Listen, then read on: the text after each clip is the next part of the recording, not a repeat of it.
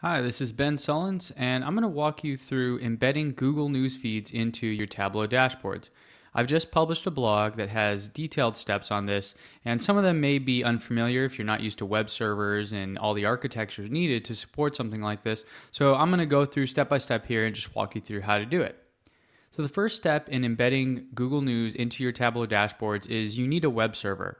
Now, if you've been working with Tableau for a while or you've been doing web development, this is a no brainer for you. Uh, you can use something that's publicly hosted, like Bluehost or something like that. Or if you uh, are setting it up internally for your own company use, um, I recommend setting up a, a WAMP server. Uh, this is basically an open source uh, suite of tools that gives you a web server. I've installed this on my local Tableau server. And with this, what I've done is I've essentially created a separate web server that I can run web pages on. Um, so if I ever want to do anything really custom in Tableau, if I want to embed something that is very unique and Tableau doesn't give me the you know functionality I need with uh, HTML, JavaScript, and all the web technologies, I can use this and then just embed that web page object into Tableau. So to do this, uh, you go ahead here and you download it and you run the installer. It's very much like a Windows installer, so it's just a couple clicks. Um, and once you're once you've got that going, down in the bottom here, what you've got is actually this WAMP server thing, which what it does is uh, it gives you a full blown web server with Apache, which is the web part, PHP, which is the backend uh, application logic, and MySQL, which is a database. Now we only really need Apache in this case, but I want to go through this just in explaining that this is something that can really extend the functionality of Tableau for you and your company. So once you've got that downloaded and set up, I'm going to skip ahead a little bit and go to downloading the code uh, to embed the actual Tableau news feed. So if you go to GitHub, um, under the link that I have posted on my blog, what you'll see is uh, this repository here, which basically has two files in it. It has this news.html. Um, that is everything you need. Uh, and then this nice little loading GIF, which is just so as the page loads, you get a little spinner.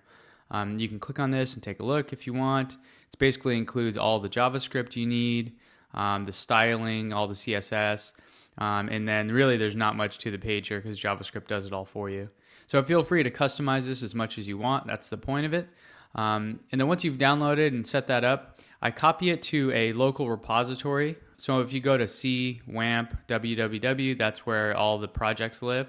Um, in there, I created one called News, and I just put those files in there if this were a publicly hosted site like bensullins.com, um, I could just put this on a subdirectory uh, on my public web server. So basically, you just need somewhere for this page to live.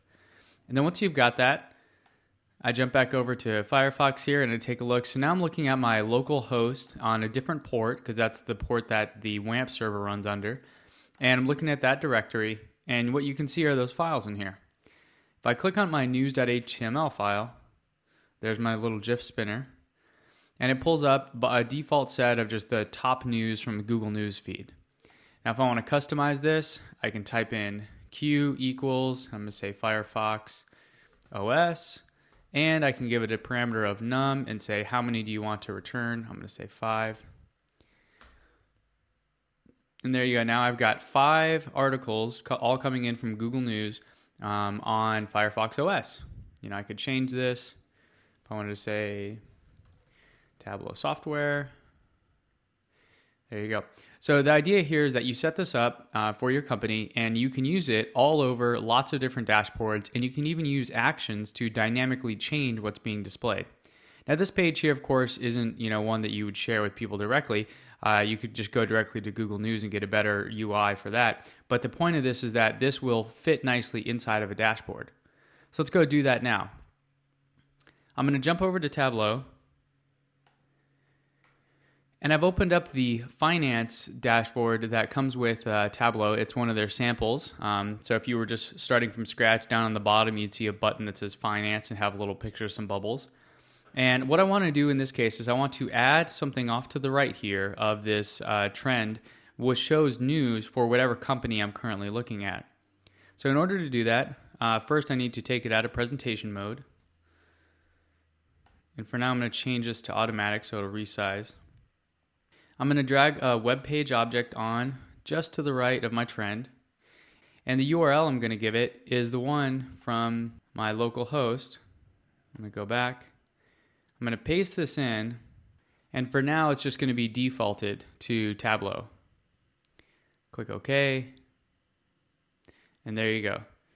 Now I'm actually going to scrunch this down a little bit. You see I get a scroll bar. The CSS fits nicely so it'll be formatted for basically whatever size page you have. And remember, I can change the number of items being displayed if I didn't want to have a scroll bar.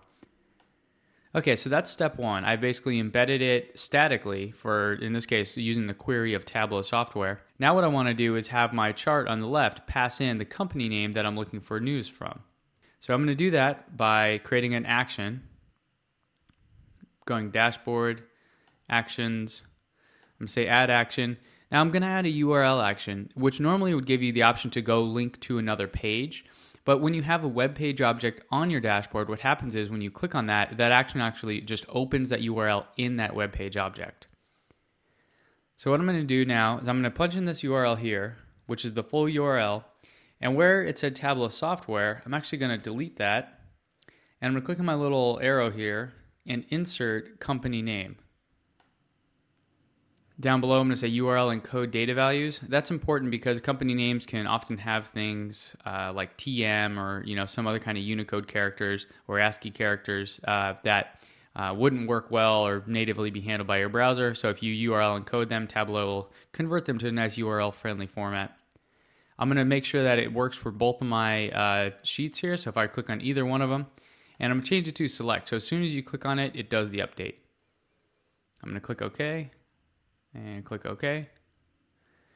Now when I hover over one of these, National Instruments, if I click on this guy, see what it does to the right, it's now updated my news feed for National Instruments.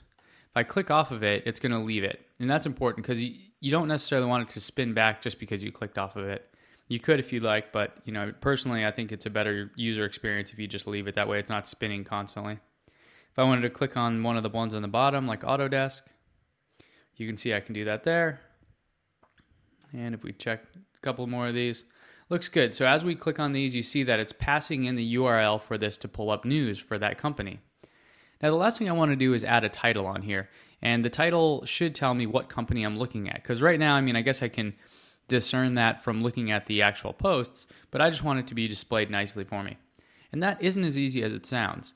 Because usually what you think is, oh, I'm just going to add a piece of text up there. But text can't use the company name coming from that other chart. So what I actually have to do is create a new sheet and use that. So let me create a new sheet. I'm going to call this title dash news. And this is a thing that you'll, as you get more advanced with Tableau, you'll find yourself doing a lot of is using sheets as titles and headers uh, because they can be more dynamically controlled. And now that we're in Tableau 8, one thing that's kind of nice is I don't really have to worry about um, creating a calculated field for the title. I can literally just drag this onto text, click on here, I'm to go edit my label, I'm to say news 4. I'm going to format this.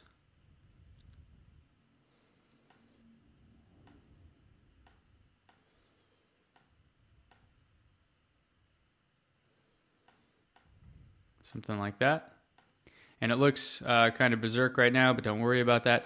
What we're going to do is we're actually going to go back, add this to our dashboard, filter it, and then it won't be as a, much of a problem. I could add a rank function or do something more stuff to make it, but we know that we're going to publish it with it already filtered, so let's just do this. So I'm going to go to Format, get rid of these lines. And let me go back to my actions. I'm just going to make sure that the filter is actually being passed over to that sheet. So if I click on top IPOs one, it's going to filter all of these. Okay, that's good. What I actually want it to do, see this is going to show all values. I'm going to uncheck title news here. And this time I'm going to add a separate filter called title news filter. So if I click on either one of these, it's going to pass the name over to my title. I'm going to say do this on select, but leave the filter when you deselect it. Click OK, click OK. So now if I hit this guy here, you can see it updated that. This guy's getting uh, quite large here, so I'm actually going to say fit entire view and then shrink it down. There we go. It looks like the highlight was also on, so I'm going to turn that off. Don't necessarily want this to be highlighted when you click on it. So if I uncheck it, now let's go find another one. Let's take a look at Novell. There you go. So now you can see what's happening. You know, I've, I've embedded Google News uh, and I'm using a web page object. I defaulted it, and then I set up an action that passes in the company name to pull the news for, as well as I've set up a uh, title that's dynamic because it's basically just another sheet which is getting filtered to whatever uh, whatever company I click on. So there you go.